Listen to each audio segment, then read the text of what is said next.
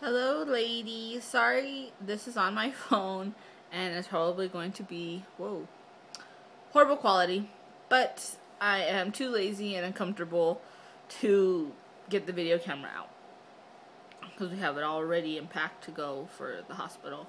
Uh, but I wanted to do an update. This will be my 38 week update and I am three centimeters. I was like two and a half, the doctor said, and he was able to stretch me to three.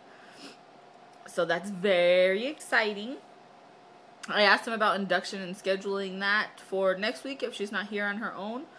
Um, and he does not think I'm going to make it that long. I have an he had me schedule another appointment for next Monday, but he does not think that I'm going to make it past this week. He thinks I'm going to have a September baby which would be awesome. I would love for her to come on her own this week or weekend.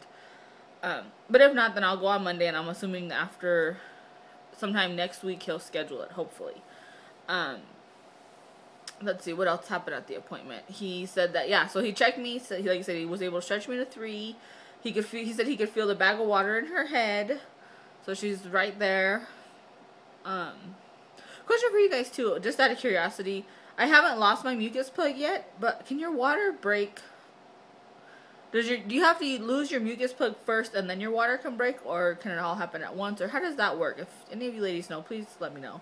Um, I meant to ask him and I just forgot because I was so excited that I was at three because last week and the week before that I was only a one, so I hadn't made any change within that week. But this last Friday I walked a ton. I was like determined to hopefully make a change. So yeah, and I think I might have had some contractions for the first time this actually this morning, early in the morning, like around four.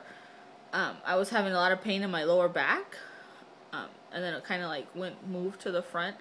So I don't know if that's what they are. It's hard to say because I've never had them before. So, um, yeah, I don't know if that's what they actually are or what. So, who knows?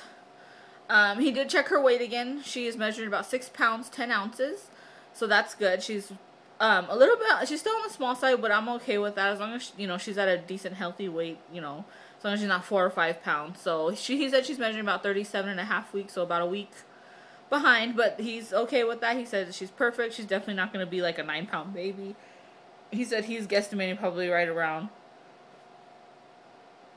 Excuse me, seven when she's born.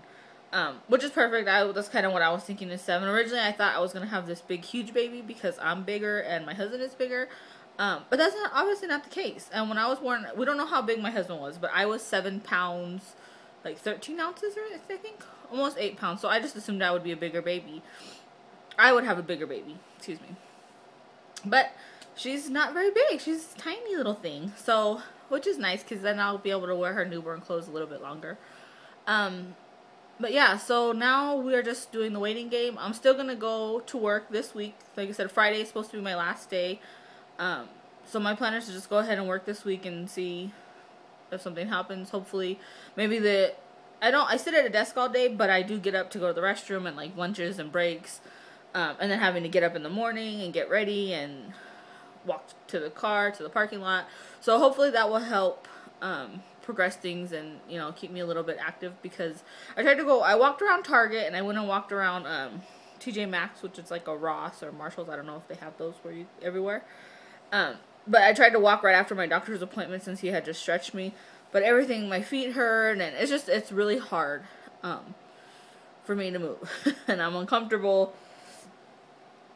So yeah, sorry. This I really hope this is decent quality. Um, but yeah, so that's what's going on with me, ladies. I just wanted to do a quick update.